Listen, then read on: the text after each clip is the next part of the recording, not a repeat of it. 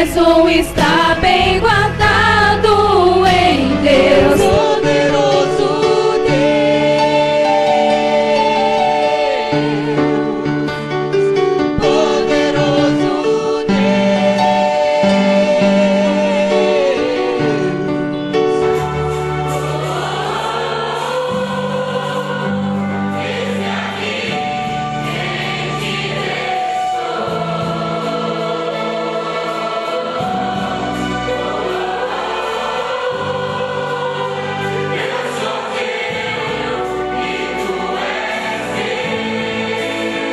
Convido a todos para a palavra do Senhor esta noite.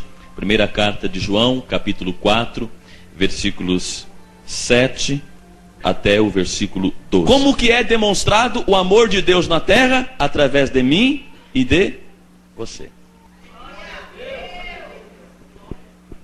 Se eu te trato bem, automaticamente você será constrangido a me tratar melhor.